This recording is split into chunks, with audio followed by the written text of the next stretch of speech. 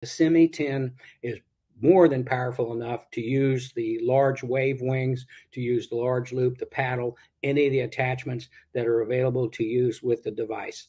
Uh, it, you, you can certainly feel the device when it's working, it's, and it goes up to 10 different levels. So, yes, it, it is very appropriate. As you know, and there'll be people that can talk about it, and this is something to learn from MagnaCon.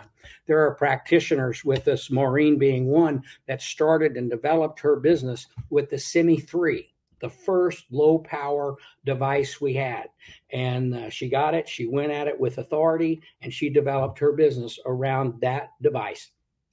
And other people would say, How can you do that? Well, she did because she was confident. She knew what it would do. It did what she said it would do, and she developed her business accordingly.